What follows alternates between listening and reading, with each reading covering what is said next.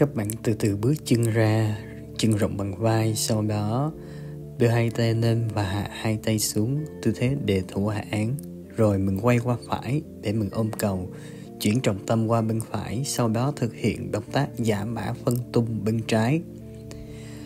Khi này chúng ta sẽ xoay người, xoay chân trái để chuyển trọng tâm vào trong chân trái, sau đó bước ra và thực hiện động tác lãm tức vĩ ở đây chúng ta sẽ thực hiện động tác bằng, kéo ra sau và sau đó thực hiện động tác lý.